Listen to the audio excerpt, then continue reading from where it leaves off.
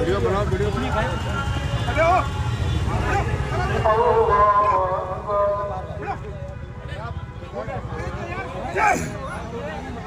भाई सजदे में थे देख सकते हो भाई लोग ये सजदे में थे। भाई लोग जितने भी है नियत कर रखे थे इसने लात मारा है पुलिस वाले ने।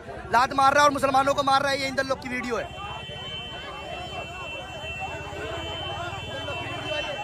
दोस्तों भारत में नमाज़ पढ़ रहे मुसलमानों पर किस तरह से हमले हो रहे हैं आप देख सकते हैं। ये वीडियो दोस्तों इस वक्त सोशल मीडिया पर वायरल हो रही है। नमाज़ पढ़ रहे लोगों को लात मार रहा ये शख्स इंद्रलोक चौकी इंचार्ज बताया जा रहा है। मामला दोस्तों आज जुमे की नमाज़ के दौरान का है। देश की सबसे काबिल पुलिस कही जाने वाली दिल्ली पुलिस में भी अब ऐसे लोग दोस्तों मौजूद हैं।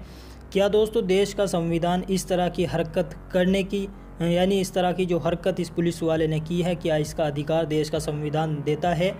ये वीडियो दोस्तों इस वक्त सोशल मीडिया पर काफ़ी वायरल हो रही है। दिल्ली के इंद्रलोक इलाके का ये मामला है। रोड किनारे जुमे की नमाज़ अदा कर रहे नमाजियों को सजदा करते वक्त पुलिस का जवान लात मार रहा है। इस बेशरम पुलिसकर्मी के अंदर इतनी भी हया नहीं थी कि नमाज़ अदा होने के बाद नमाजियों से बात करता कावड़ यात्रा के दौरान रूट डाइवर्ट करने वाली दिल्ली पुलिस को थोड़े तो नियमों का पालन करना चाहिए था। कावड़ यात्रियों का स्वागत किया जाता है और मुसलमानों को लात मारने की रिवायत ये पूरे मुल्क में बन चुकी है। दोस्तों, जब नफ़रत दिलो दिमाग में छा जाए, तब ऐसी घटनाएँ देखने को मिलती हैं।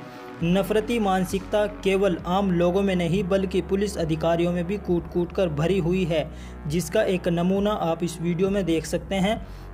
दोस्तों, यही रोड है जहाँ पर पुलिस वाले कावड़ियों पर, यानी कावड़ यात्राएँ जब चलती हैं तो उन पर फूल बरसाए जाते हैं।